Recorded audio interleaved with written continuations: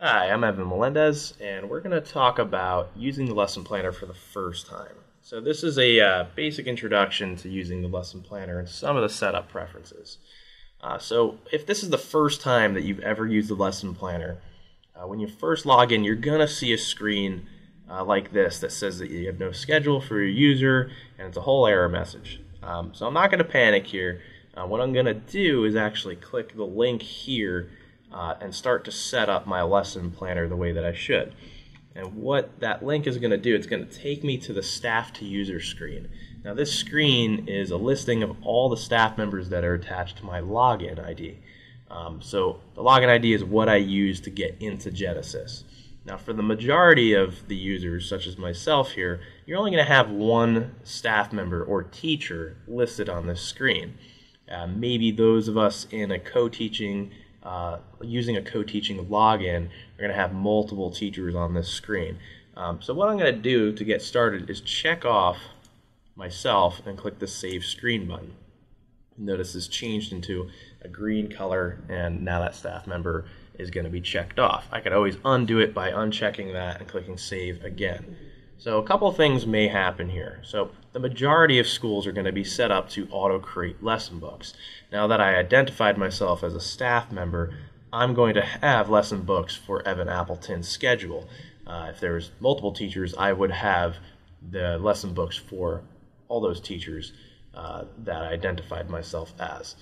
Now, if I go to the lesson books tab, I'm going to see some lesson books, and these were auto-generated for me uh, by just checking myself off. You know, the schedule is built in by the admins or the schedule, uh, the scheduler in your school. So there's nothing that I had to do. I didn't really have to pick courses from a list or anything like that. It's the system already knows what courses that I teach, so it pulled it in there for me. There's a couple things that I could do on this screen as far as uh, some options to customize my lesson books. Uh, I could rename the lesson book to whatever I want. In this instance, I actually gave it a shorter name than the Social Studies 6 because I want the name to just be short and simple.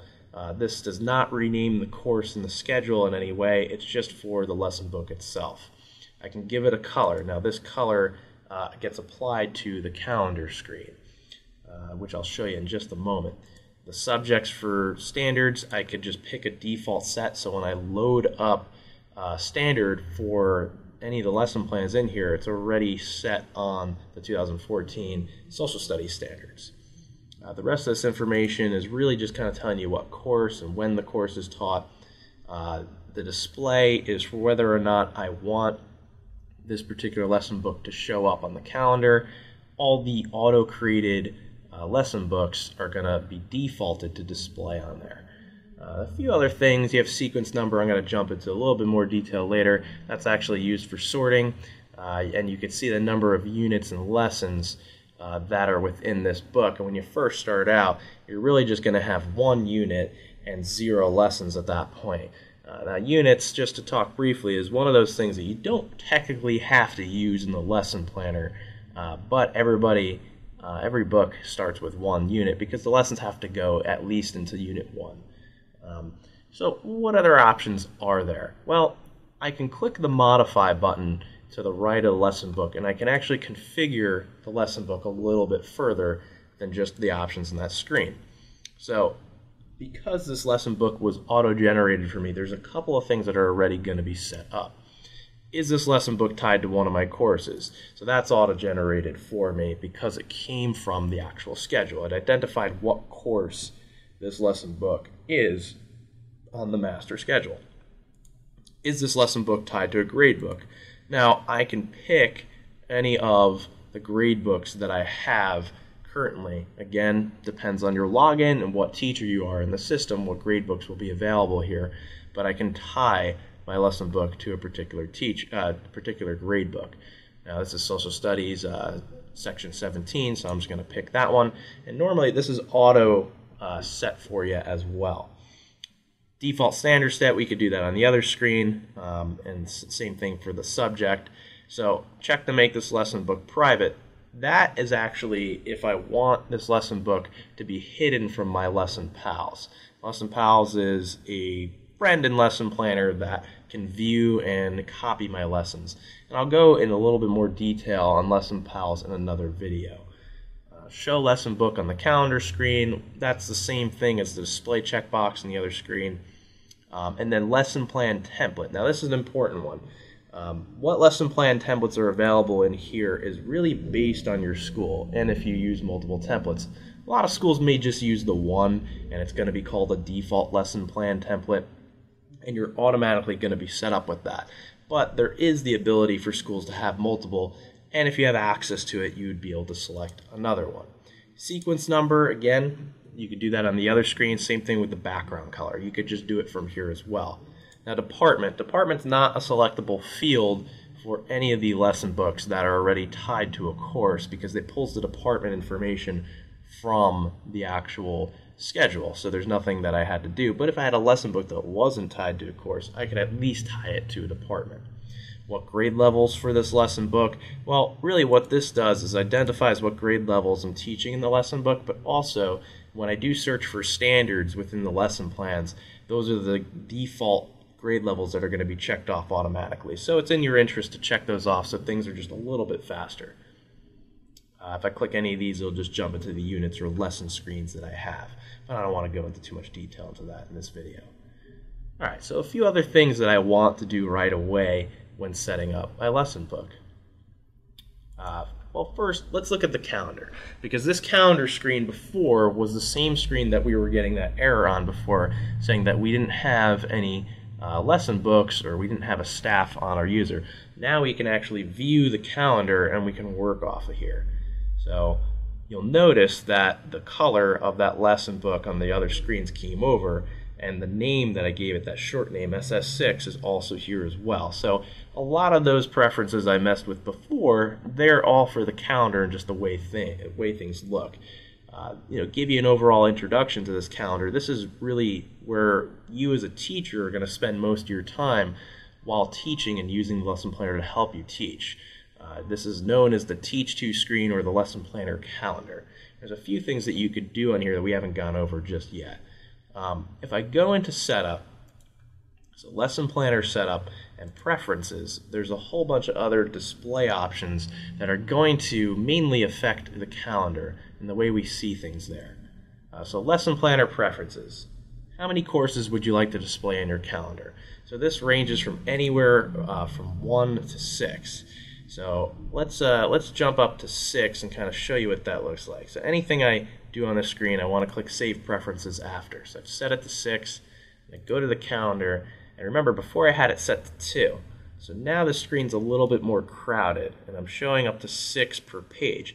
Um, one thing to note too is that not all of my courses, because I'm teaching eight total, are going to still be on the screen. I could always click next and that'll open up the next grouping of up to six at a time. So you understand that, that the amount of lesson books that I have on here, that's the number we controlled. And it's at a time. So previous and next, that's all your navigation tools for jumping from lesson uh, books to lesson books from the calendar piece. So this might be a little bit too crowded for people. I know it is for me. So I'm going to actually go back to my preferences and I'm going to keep it at a 2 because I, I thought that was a little bit neater. So display books that are not attached to a course in the calendar screen. Uh, so yeah, I like to keep that as Yes, because maybe there's a few lesson books that I have that aren't going to be tied to a course. Um, so what does that mean? Well, we talked about how the default lesson books that were created automatically for me, uh, they're automatically tied to a course. So they're, they're going to show up on the calendar screen. You might have lesson books that you created on the side.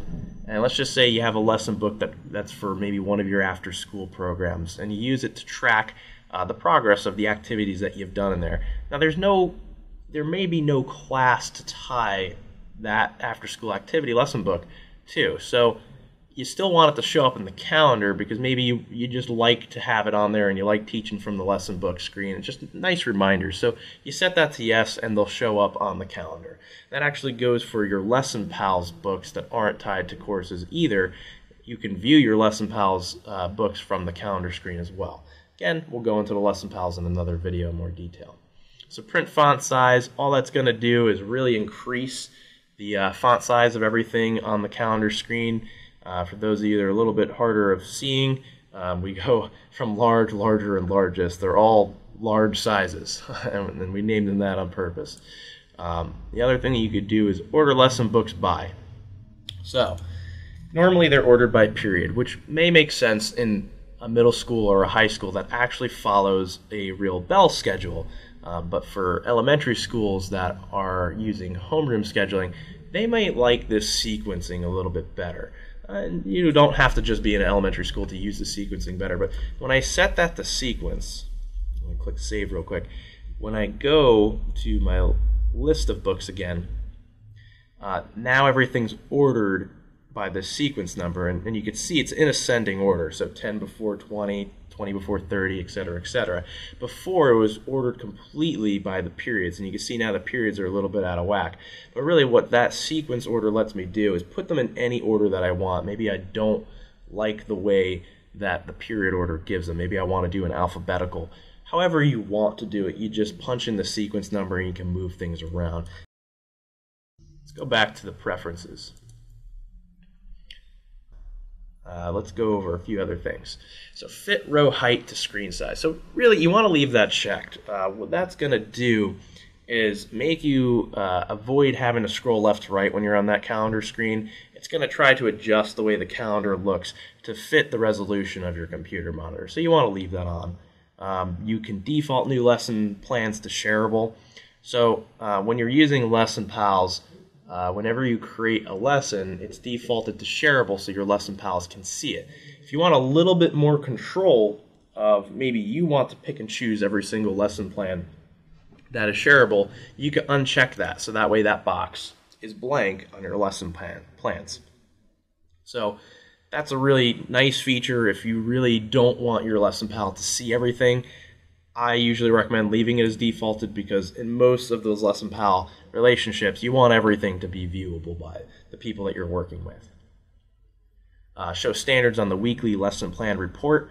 Uh, if I go to the calendar, there's a few other screens too that you can do this from, but uh, there's a printer icon in the top right hand corner. And when I click that, um, if I had lessons, it's going to show me a weekly summary of all the information on my lesson plans. If I have standards attached in there, it'll give me the standards on that weekly summary. So usually, yeah, you want to leave that defaulted as checked as well, so that way you get a little bit more information on the weekly printable uh, lesson plan report.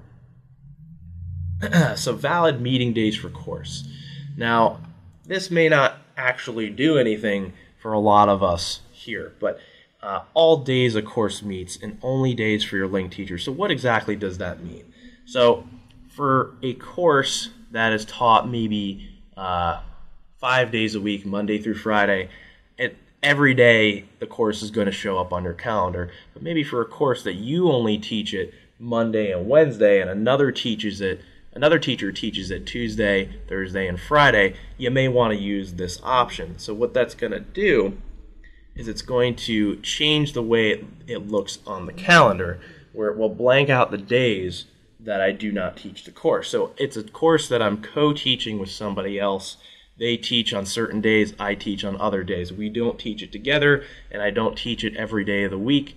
So it knows based on the scheduling information that my admin put in which days to blank out. So if I only taught if I only taught language arts literacy 6 on Mondays and Wednesdays and Mr. Jones taught it Tuesday, Thursday, Friday, Tuesday, Thursday, Friday would be blanked out for me if I used the second option of uh, only show days for your linked teacher.